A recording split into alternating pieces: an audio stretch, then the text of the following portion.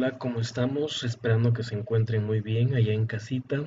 Eh, no hemos podido vernos en clase, sin embargo, vamos a ver los temas aquí eh, a través de unos videitos y la retroalimentación como ya hemos visto. El día de hoy nos toca ver el tema técnicas de conteo. Eh, precisamente la adición, la multiplicación, por ahí más adelantito vamos a ver también la permutación y la combinación. ¿Qué son las técnicas de conteo? Son métodos de probabilidad para contar el número posible de arreglos dentro de un conjunto o varios conjuntos de objetos. En pocas palabras, son técnicas eh, que nos ayudan a saber más rápido cuántas posibilidades hay de que un evento A o un evento B ocurran. Para eso, tenemos diferentes técnicas. Son cuatro las principales.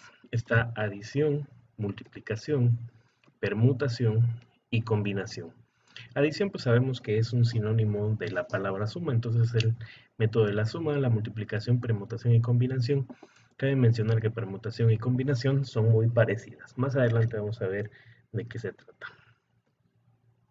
Adición o suma.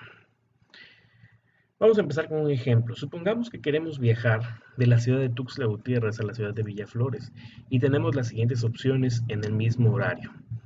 Exactamente en el mismo horario hay dos camiones, un taxi colectivo y un taxi especial. ¿Cuántas diferentes opciones tengo de viajar? Pues tenemos dos camiones, tenemos también un taxi colectivo y tenemos también un taxi especial. Entonces, prácticamente sería hacer una suma, los dos camiones más el taxi especial más el taxi eh, colectivo. Esto es igual a 4. Bastante sencillo, ¿cierto? Veamos otro ejemplo. Vamos a salir a una fiesta y tenemos un pantalón verde, dos pantalones azules, dos pantalones negros y un pantalón blanco. ¿Cuántas opciones tengo de ponerme un pantalón para ir a la fiesta? Pues tenemos un pantalón verde, más tenemos dos pantalones azules, más dos pantalones negros, más un pantalón blanco. Entonces, simplemente realizo la suma y eso me da igual a 6. Tengo 6 diferentes opciones de ponerme un pantalón para ir a una fiesta. Igual de sencillo, ¿cierto? Conclusión. En la adición o la suma únicamente sumamos las posibles opciones que tenemos de elegir algo. Vamos a ver ahora la técnica de la multiplicación. Retomamos el ejemplo de la fiesta, pero ahora no solo tenemos pantalones, ahora también tenemos playeras. Ahora para ir a la fiesta contamos con tres playeras y tres pantalones. ¿De cuántas formas diferentes puedo ir vestido? Tengo tres playeras, tengo tres pantalones. Resolvamos. La playera negra puede ser combinada con los tres pantalones, el pantalón celeste, el pantalón negro y el pantalón blanco. O sea que tengo la combinación eh, negra celeste, negra negra y negro blanco. Pasa lo mismo con la playera celeste. La playera celeste se puede combinar con los mismos tres pantalones y la playera naranja de igual forma se puede combinar con los tres pantalones. ¿Qué hacemos para obtener el resultado? Simplemente multiplicamos las tres playeras por los tres pantalones y el resultado es 9. Ok. Si nos damos cuenta, acá nosotros podemos combinar la playera negra con el azul, con el negro, con el blanco. Tenemos tres opciones y cada una de las terminales que van dando acá nos va dando la suma de las opciones. Tenemos 1, 2, 3, 4, 5, 6, 7, 8, 9, que es la multiplicación de 3 por 3. Aumentemos un elemento. No puedo ir a la fiesta sin zapatos. ¿Qué pasaría si ahora aumentamos dos pares de zapatos, un par negro y un par blanco? ¿Qué va a ocurrir? Tenemos las combinaciones y a cada una de ellas, a la combinación de playera negra, pantalón azul, la puedo combinar ya sea con los zapatos negros o con los zapatos blancos. Ahí tengo dos combinaciones más. Pasa lo mismo con la combinación playera negra, pantalón negro. Puede ir con pantalón negro, con zapatos negros o zapatos blancos. Ocurre lo mismo con la combinación eh, de playera negra, pantalón blanco. Tenemos dos opciones más. Y así con cada una de las demás combinaciones. Entonces la multiplicación de 3 por 3 tendríamos que multiplicarlo ahora por 2. ¿Cuántas posibles combinaciones tengo? 3 por 3, 9 por 2, 18 posibles combinaciones. Bastante sencillo de resolver, ¿no es así? Eh, en conclusión, si un evento A puede ocurrir de m formas e independientemente de este evento, un evento B puede ocurrir de n formas, entonces los eventos juntos pueden ocurrir en un total de m por n formas. Así es que vamos a multiplicar siempre las opciones que tiene el evento A y las opciones que tiene el evento B para poder sacar eh, cuántas veces puede ocurrir. ¿Difícil? Espero que no.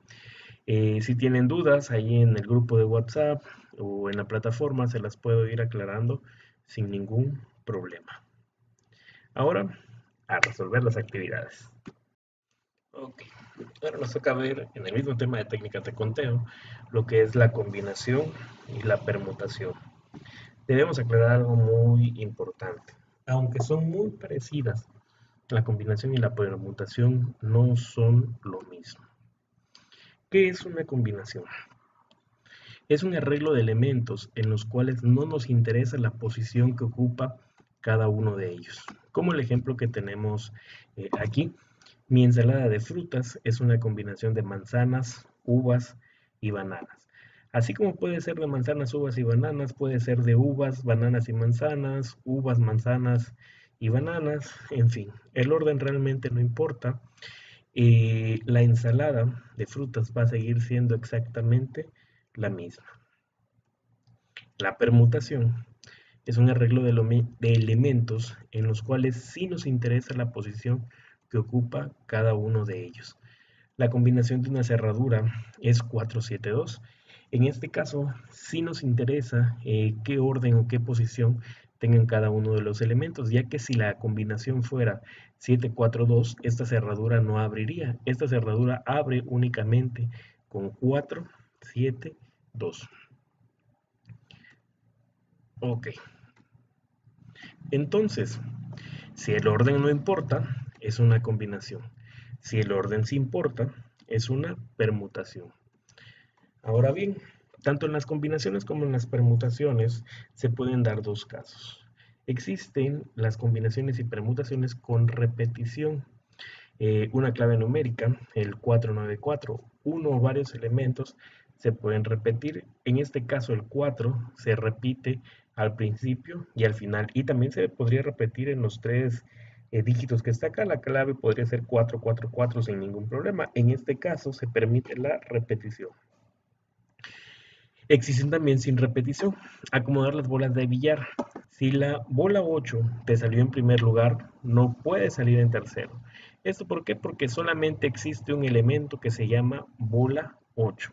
Entonces, si yo saco la bola 8 en primer lugar, por ende, ya saqué esa bola de, mi total de, bolas como tal y no me va a poder salir ni en segundo, ni en tercero, ni en cuarto, ni en quinto, ni en dieciséisavo lugar, que serían las 16 bolas eh, de billar. Eh, aquí me sale en segundo lugar el 2 y en tercer lugar el número 9. Ahora bien, vamos a ver combinaciones sin repetición. Se refiere al número de posibilidades en las que un grupo de elementos se puede mezclar entre sí sin repetición. En este caso, nos sale el 23, el 12, el 36, el 3 y el 49. Esto es un ejemplo de lo que sería más o menos el melate, que es un tipo de juego de lotería, donde existen, me parece, que 49 pelotitas eh, de las cuales las van succionando y no importa el orden en el que salgan, si tú tienes esta combinación, tú eres ganador eh, de ese premio, ¿no? Me pudo haber salido el 23 en tercer lugar y no importaría porque el 23 es un elemento que tiene que estar. Esas son las combinaciones sin repetición. Tienen una fórmula eh, bastante básica y sencilla. La fórmula es n factorial entre eh, r factorial que multiplica a n menos r factorial. Acá llegamos a algo muy interesante. ¿Qué cosa es el factorial de un número? Si nosotros tuviéramos, eh, por ejemplo, vamos a cambiar acá, el número 7 y dijéramos que es el 7 factorial, vamos a cambiar el color, permítanme tantito, vamos a ponerlo de amarillo. Tenemos el 7 factorial, tendríamos que multiplicar el 7 por 6 por 5 por 4 por 3 por 2 y pues por 1 también, ¿no? Que ya sabemos que todo número multiplicado por 1 da el mismo número. Eso es eh, un, factorial, el factorial de un número. N es el total de datos. Si tenemos entonces 50 datos, acá sería 50 factorial, sería 50 por 49, por 48, por 47, y así hasta llegar al 1. R es la muestra eh, de los datos, cuántas pelotitas vamos a sacar. En este caso, únicamente estamos sacando 5 pelotitas como tal. Entonces, para esta fórmula, si la sustituyéramos, n sería 49 y r sería 5 eh, como tal. C es, pues obviamente, la combinación. Y el signo de admiración cerrado es el factorial de un número, que es lo que explicábamos hace un momento. Veamos un ejemplo. ¿De cuántas formas de cuántas formas pueden agruparse los colores verde, amarillo y rojo si se agrupan de dos en dos. Tenemos el verde, el amarillo y el rojo. Obviamente podemos agruparlos de dos en dos. Puede darse el verde amarillo, el verde rojo, el amarillo eh, rojo. Veamos datos. N es igual a 3 y R es igual a 2. Desarrollamos en la fórmula. Simplemente sustituimos los valores. Como dijimos que n es igual a 3, sacamos el 3 factorial, eh, que divide a 2 factorial, eh, y esto es multiplicado por 3 menos 2 factorial. El 3 factorial, pues obviamente es 3 por 2, 6 por 1, pues queda el mismo, 6 eh, en este caso. El 2 factorial es 2 por 1, queda el mismo 2, y ponemos 3 menos 2, 1 y tenemos que seguir manteniendo el factorial porque todavía no se lo hemos aplicado. Ok. 1 factorial pues obviamente es 1 por 1. Nos queda 1 como tal. Y tenemos 6 entre 2 que es igual a 3, que son las tres posibles combinaciones. Como decíamos hace un momento, serían el verde amarillo, el verde rojo y el amarillo rojo. Si decimos que rojo-verde, eh, como en este caso no importa el orden, pues ya dijimos verde y rojo, ¿no? Nada más serían tres eh, las posibles combinaciones. Combinaciones ahora con repetición, donde sí se puede repetir. Se refiere al número de posibilidades en las que un grupo de elementos se pueden mezclar entre sí con repetición. Eh, si nosotros tenemos moneda de 10 y de 5 en nuestro bolsillo, nos puede salir una moneda de 10, una moneda de 5, nuevamente una moneda de 10, nuevamente una moneda de 5 y otra moneda de 5 como tal. En este caso, si se dan cuenta, el elemento pues son de 5 pesos, pero sí están repetidos. Y en este caso, a la hora de sacarlas, si yo meto mi mano al bolsillo y saco 5 eh, monedas, en este caso me salieron 2 de 10 y 3 de 5. La fórmula queda de la siguiente manera.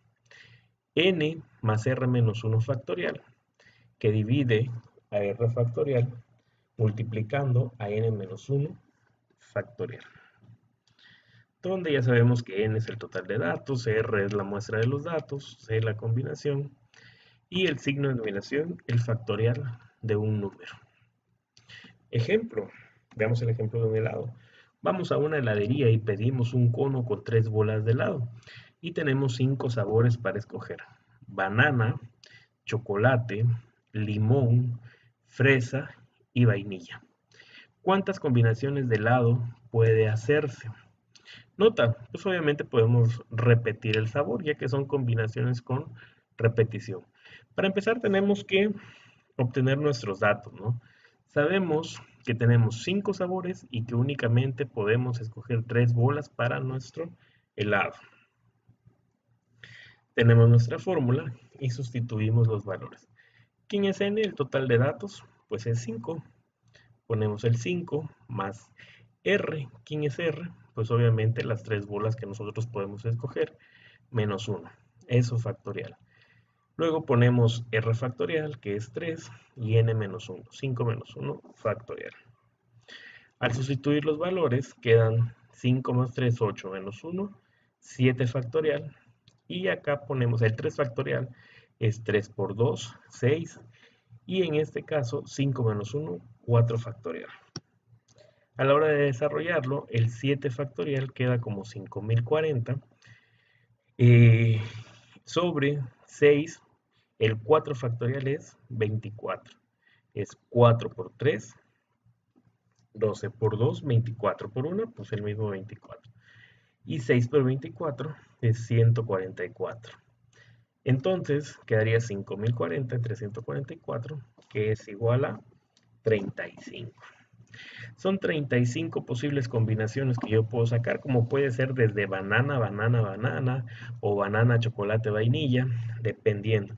Puede ser también puro chocolate, chocolate, limón, ya que nos permite repetir los sabores. Simplemente tengo que escoger tres bolas de chocolate. Ok, vamos a pasar ahora a las permutaciones con repetición.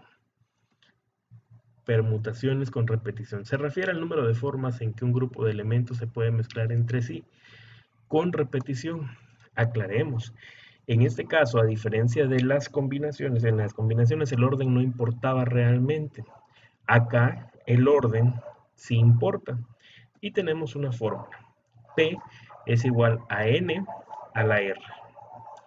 Donde P es permutación, N es el total de datos y R es la muestra de datos. Eh, es el, en, dicho de otra forma, N es el total de datos o el total de lecciones que nosotros tenemos y R es cuántos puedo escoger de ella. Veamos el ejemplo. Tenemos un candado que se abre con una clave de cuatro dígitos, los cuales pueden ir del 0 al 9. ¿Cuántas posibles combinaciones o permutaciones tiene el candado? Desarrollemos. P es igual a N a la R. Entonces, P sería igual eh, a 10 a la 4. ¿Por qué 10 a la 4? N eh, es el total de datos que yo tengo para elegir. Tengo del 0 al 9, entonces tengo 10 datos. ¿Y cuántas veces lo puedo elegir? 4 veces. Eso es la R. Entonces ponemos 10 a la 4, que serían 10.000. Y precisamente, si nosotros hacemos una combinación acá, podríamos llegar hasta el 9999. No hay más, pero de ahí dice 10.000, sí, pero también tenemos una combinación que podría ser 0, 0, 0, 0. Todas están consideradas en este ejemplo. Veamos ahora las permutaciones sin repetición. Permutaciones sin repetición se refiere al número de formas en que un grupo de elementos se puede mezclar entre sí, sin repetición. En este caso, su fórmula es muy parecida a la de las combinaciones. Es n factorial sobre n menos r factorial. Ya sabemos que PR es una permutación, n el total de datos, r la muestra de datos, el signo de admiración, el factorial de un número. Veamos un ejemplo. ¿De cuántas formas pueden permutarse las 15 bolas de juego de billar sin contar la bola blanca si las vamos a agrupar de 3 en 3? Entonces, tenemos aquí que n es 15 y r es 3, porque vamos, podemos sacarlas de 3 en 3, no más. Entonces simplemente sustituimos los valores, tenemos que n es 15, ponemos el 15 factorial, y acá ponemos 15 menos 3 factorial nos dan números bastante alarmantes, eh, bueno, muy grandes. 15 factorial nos da 1.307.674.368.000 entre el 12 factorial, que es 479.160.000.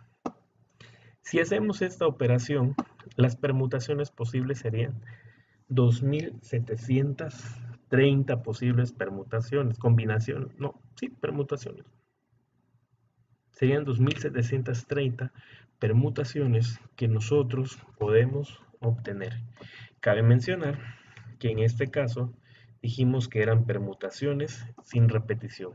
Como pusimos el ejemplo de las bolas de billar, las bolas de billar, si yo ya saqué la bola 8, no la puedo volver a sacar porque no existe otra bola 8. Hay, son de diferentes colores y de diferentes formas. para los que juegan billar saben que están las lisas y las rayadas y cada una tiene un color diferente. Tenemos el 8, el 2, el 9, etc. Ok.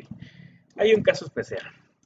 Si tuviéramos de cuántas formas pueden permutarse las 15 bolas de un juego de billar sin contar la bola blanca, si las vamos a agrupar de 15 en 15, en este caso estamos diciendo que vamos a considerar las 15 bolas y de cuántas formas diferentes nosotros las podríamos agrupar. Tenemos un detalle acá, 15 menos 15 es 0. Y sabemos que todo número dividido entre 0, pues obviamente nos da eh, un, error de sintaxis como tal. Sin embargo, hay una regla en las matemáticas que dice que el 0 factorial siempre va a ser igual a 1. Entonces acá no quedaría 15 eh, entre 0, simplemente quedaría 15 factorial entre 1, que sería exactamente igual al 15 factorial. Por eso es muy importante aclarar que para cuando tenemos este caso especial, simplemente las permutaciones van a ser igual a n factorial. Eh, gracias por el video, eh, espero que puedan resolver las actividades, si tienen dudas ya saben, me pueden contactar ahí por el grupo de WhatsApp o por este medio en YouTube. Muchas gracias.